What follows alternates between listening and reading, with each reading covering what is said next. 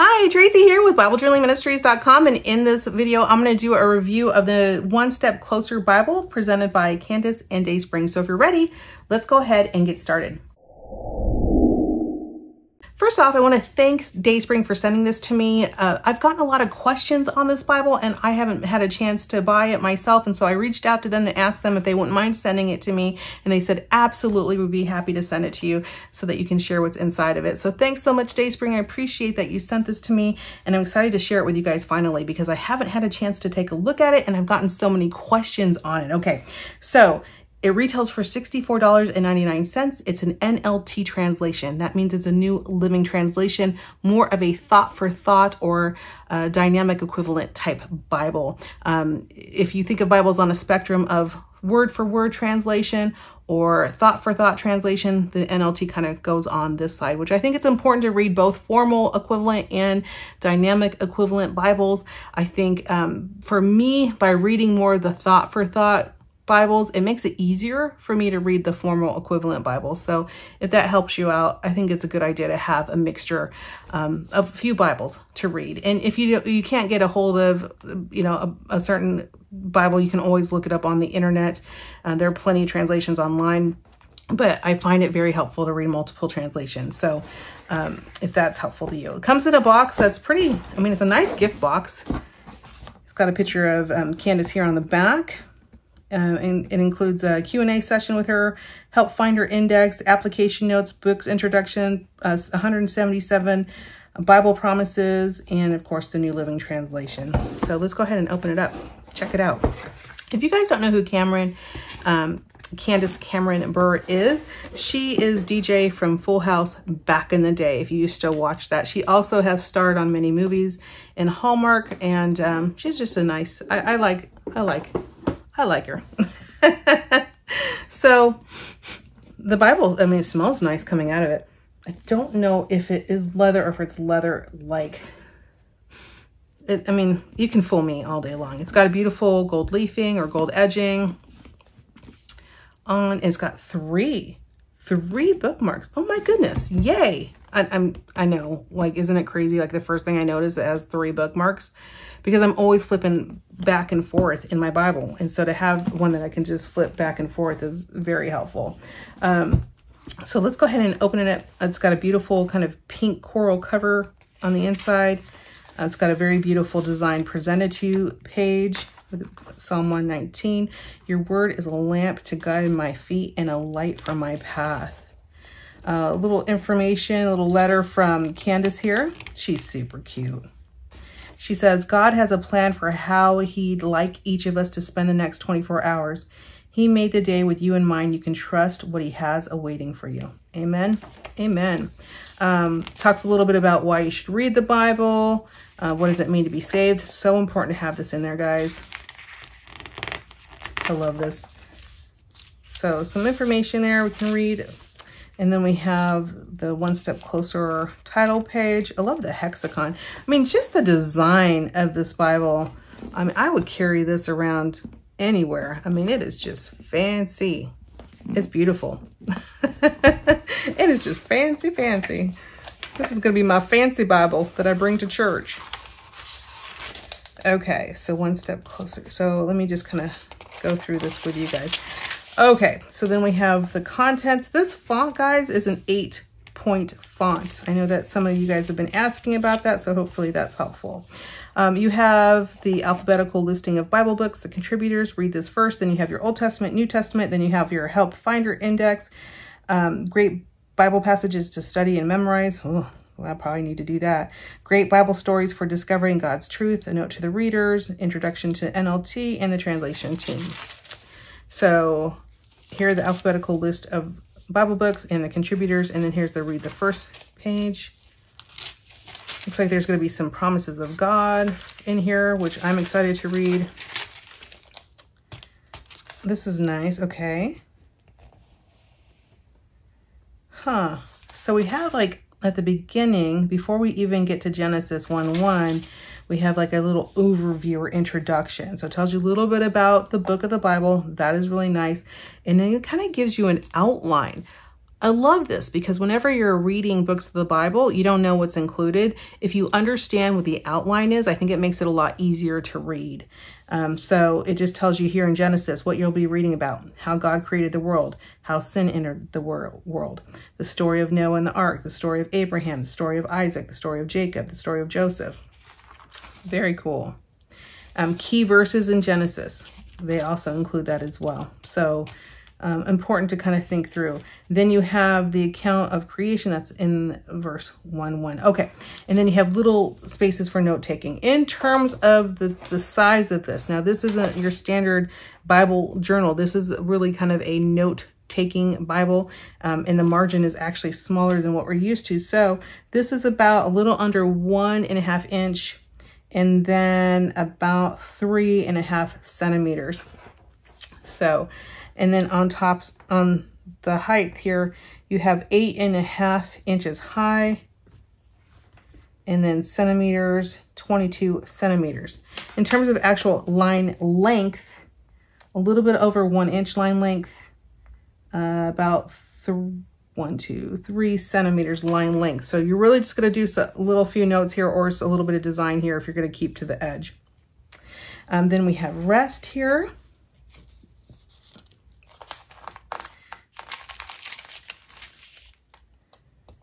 Um, and then we have the Bible. Then we have um, a topic here, sexuality, temptation, family motives, salvation. And here's one of the promises. Promises from God. I will never again destroy all living things. As the earth remains, there will be planting, harvest, cold and heat, summer and winter, day and night. I love the promises of God. I'm, I just, I love, I love to just, and especially if they're called out it's really nice. Also, I know that some of you guys are going to ask me, is it red lettered? So let me just kind of check for you. I think it is, but let me just double check. Yes, it is. So for those of you guys who like the red letters, and the red letters will have whatever Jesus has said in red text. So that's just really nice. It, it calls your attention to it. Um, make sure that you know it's really important. everything in the Bible is really important, but some of us want to know specifically what did Jesus have to say about this? And so we look at what is in the red letter. Uh, this is a double column Bible. So for those of you guys who like that, it's important to you to have, you know, two different columns as opposed to one column. Um, it just kind of helps. It's a little easier on the eyes for some of us. It's a, it's a double column layout. It does, it is flat. So I, you know, once you, it lays flat. So that's nice so that if you're writing, it will lay flat and you can write on it. In terms of the page thickness, you guys, the page thickness is like a standard Bible. So if you've ever, if you have a standard Bible, it's not a journaling Bible. It's more like the page thickness of a standard Bible. So pretty thin page. That doesn't mean you can't write on it. It just means the pages are thinner. So if you're using a dark pen, you're likely going to be able to see on the other side. So you can use a pencil if you want to. I, I don't mind. I'll use a, a pen because for me, I want it to stay in there. But if you want, if you're concerned about bleed through stuff like that, then use a light pencil and you should be fine in terms of just taking your notes.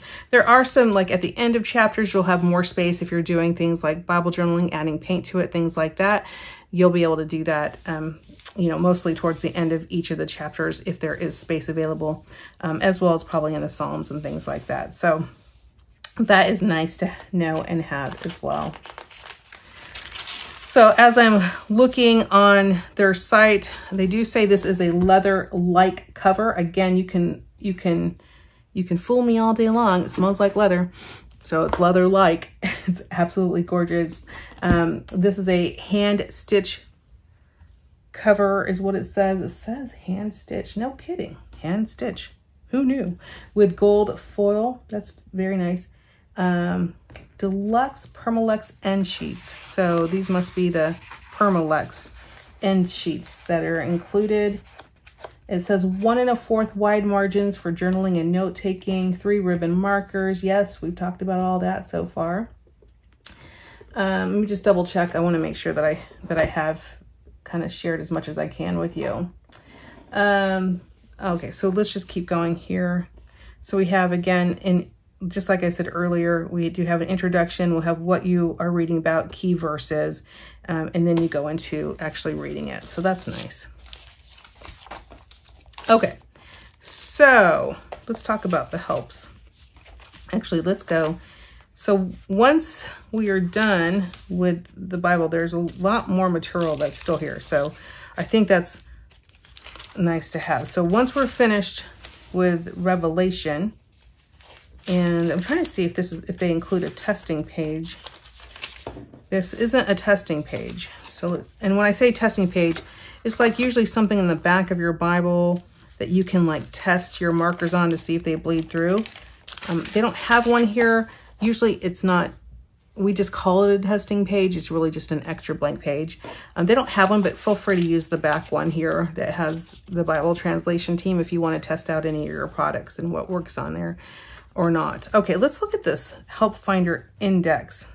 It says, when God inspired the Bible, he was thinking of you and your needs. And because God made you, he knows what you need to make your life all it should be. He put the answers to meet your needs in the Bible. But wouldn't you like an easy way to find God's answers? To me, Yes, absolutely. You have found it here in this Help Finder Index. This is the place to find Bible help for daily needs, arranged alphab alphabetically by topics. Each topic includes a summary, several questions to help you put your need into words, a list of Bible verses to look up that will speak directly to your particular issues, and a short comment to help apply those verses to your life. In addition, some of the Bible verses are paired with corresponding application notes on the page indicated. We hope you will find this Help Finder Index gives you a lifetime of joy as you search God's Word and see how wonderfully He wants to meet your daily needs. Awesome. Okay, so let's just find one and we'll go through it together. I'm just to randomly pick one. Okay, Okay, so this one is miracles. So help finder about miracles. I got to go to the beginning to show, show you what's all included. I landed on miracles. Yay. Okay, so here we are. Um, if we want to learn more about miracles, and we'll go, we'll go to this page. This is page 1375, and it says miracles, and it talks a little bit about miracles here. Talks about what are miracles, and then they have the verse and information on it. And then there's some questions, key questions. Can God really do the impossible? And then it has, let me just show you for, then it has like different verses. So Zechariah 8, 6, this is what the Lord of heaven army says. All this may seem impossible to you now, but isn't impossible for me. So just kind of tells you like where in the Bible um, you might find the answers to that question. Okay. Uh, how does God do miracles? And then they give you Daniel 6, 27, Micah 7, 15. They actually give it to you, so you actually do not have to go look these up. They're actually right here written out for you, which is kind of nice. It's a, definitely a time saver. Um, is there something wrong with me if I pray for a miracle and God doesn't grant one? Well, uh, yeah. So then there's some verses here for you to look up. What keeps me from seeing more miracles in my life? How do I deal with impossible situations? So a lot of different questions um, and um, where they are in the Bible. I love they don't tell you the answer. Like I love that they give you scripture and then you can work with the Holy Spirit to understand that scripture. You go, so, you know, here's Revelation 3, 8 under miracles. So the question was, excuse me if I go back, how do I deal with impossible situations? And then they have Revelation 3 8. I know all the things you do. I have opened a door for you that no one can close. You have little strength that you obey, yet you obeyed my word and did not deny me. Um, and then they give you a help here. Start by doing what you can do to the best of your ability. God promises he won't abandon you, but will help you in your impossible situations. If he wants a task done, he will enable you to do it. When you live by God's principles, you remain in the shadow of his helping arms. I like that. Okay. Uh, let's do another one. So there's questions and, oh, and then we go into the promises. So from there we go promises from God, Ephesians 3.20. Now all to now all glory to God who is able through his mighty work, mighty power at work within us to accomplish in infinitely more than we might ask or think. Um, so then they go into promises. All right, let's do another one now that we're kind of more comfortable with the way this is all work set up. Okay, so I just turned to money. So money is the next help topic that we'll be looking at. So it tells you a little bit about, you know, a little bit about money. So here it says, money is neither good or nor bad. It is a neutral medium of exchange. Throughout the Bible, we read matter-of-factly about money being earned, borrowed, and spent. However, money has come to represent wealth, power, and status. As such, it has a tendency to wield extraordinary power and control over our lives. So just gives you a little bit more about thoughts on money. And then there are questions. What is the proper perspective towards money? And then there's like a ton of verses here. So let me give you an example of one. Uh, let's do uh, Matthew 6, 21. It says, so Matthew 6, 21, then they quote the Bible. Wherever your treasure is, there the desires of your heart will be. And then it goes into um, kind of helps, which is why it's called a help index. So the help is, it says, the Bible mentions many wealthy people who love God while saying nothing negative about the amount of wealth they owned. Then they give you examples, Abraham, David, Joseph, Joseph, um, Lydia. Scripture doesn't focus on how much money you can or cannot have, but it rather focuses on what you do with the money that you do have. Jesus made one thing clear wherever your money goes, your heart will follow after it. So work hard and succeed without guilt, but make sure to work just as hard at finding ways to please God with your money. Um, there's a couple other verses that, that like, for example, don't have um, a help with it. So example would be uh, Psalm 23, 1, the Lord is my shepherd, I have all that I need. So apparently they thought that was self-explanatory. Um, Matthew 6, 21, no one can serve two masters. You cannot serve God and be enslaved by money. Um, so yeah, there's also ones that actually tell you to go to note. So this one, Luke 18, 22, sell all your possessions and give the money to the poor and you will have treasure in heaven. See note on page 942. 942, 942. I'm to go to the help so we can see page 942. So you guys are seeing this for the first time. Like I'm seeing it for the first time. It's not, I, I haven't like gone through this at all. I like, whenever I do my reviews, I like to give you like straight up what I'm thinking right out of my mouth. So it doesn't like sometimes it's, it's nice, but sometimes it's not so nice. You guys have heard reviews where I'm just like, eh, no thanks. Um, okay, 942. Um, see. Oh, okay. So here's the note on money on Luke 18, which is Luke 18, see note 942. So it says, what does your money mean to you? Although Jesus wanted this man to sell everything and give his money to the poor, this doesn't mean that all believers should sell all their possessions. Most of Jesus's followers did not sell everything, but used their possessions to bless others. This story shows us that we must not let anything keep us from following Jesus. We must remove anything that gets in the way of serving him fully. If Jesus asked you, would you give up your house or car? Would you live somewhere else, a place that wasn't convenient or didn't feel as comfortable as where you live now? Your reaction may show your attitude towards money wherever whether it is your servant or your master. Wow, that's convicting. Very awesome. Okay, so that's kind of, you know, the different, there's, wow. Look at, look at the answer. So when it comes to the proper perspective towards money, and they're giving you like all the different verses, look how many verses are in the Bible just about money alone. And just, just to answer that one question, and then we go into the next one. Why don't I ever seem to have enough? Is debt a sin? In what other way should I be caution, cautious regarding debt? How can I best use my money? What is the relationship between wealth and contentment? And then we have the promises of God.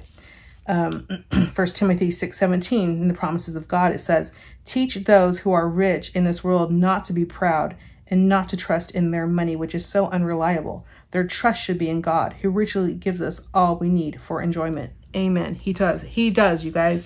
He does. We just have to like look around. We we you know we can get so like caught up in things sometimes that we don't look up and go. You know, He's already given us everything that we need, um, and we just need to be content in that and focused on what He has for us.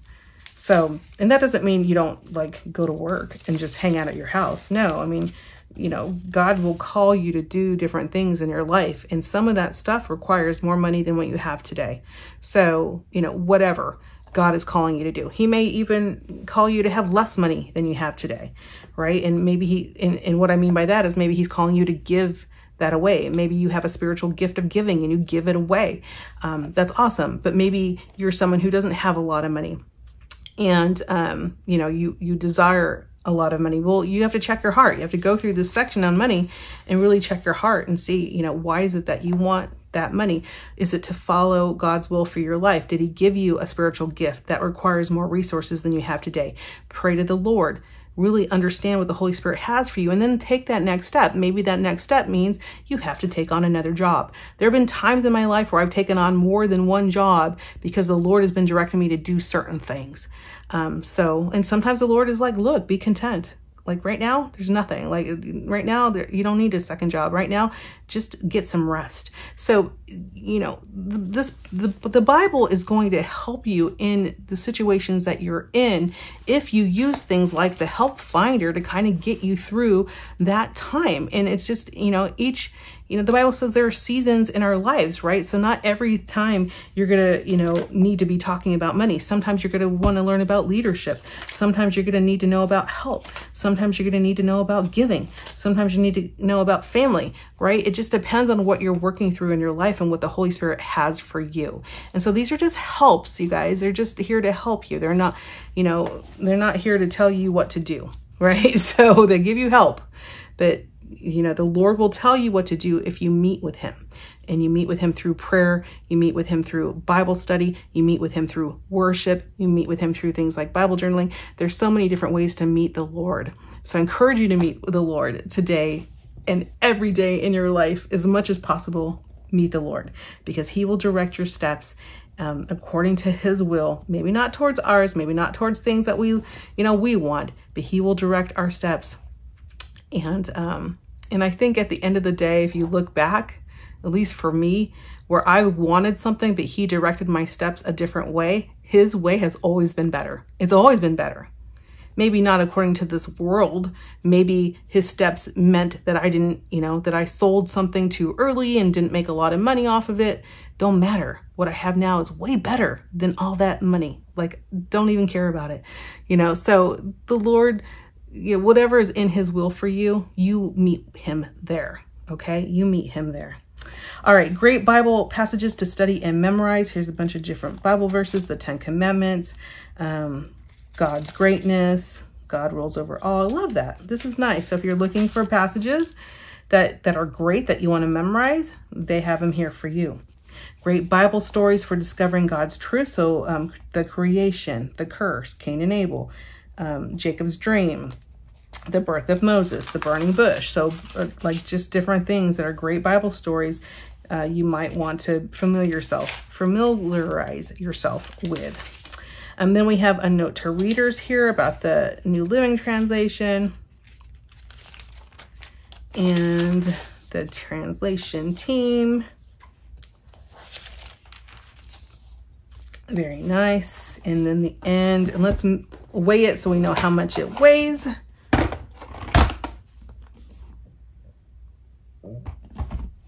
It weighs two pounds, 3.7 ounces, so two pounds, four ounces. Really easy uh, to bring with you to your church and just have maybe even, I mean, it's just gorgeous, guys. So I love it. Um, I think it's great. I hope that you will take a look at it. I hope that I answered all the questions that you guys have for me. Usually you're asking things like font size, is it red letter, um, is it double column, single column, all those things. I've answered them for you. But if I didn't answer a question for you, please put it in the comments below and I will definitely answer it for you.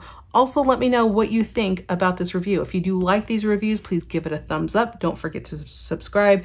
And um, let me know what you think of the Bible. Do you have it? And what's your favorite part about it? What is the thing that you love to use about it? I will also put links down for you if you're curious. Um, if you want to learn more about it, I will put an affiliate link for you. If you decide to purchase the Bible within that affiliate link, it doesn't cost you more, but it does help our ministry out. So thanks so much in advance and you have a blessed week. Goodbye.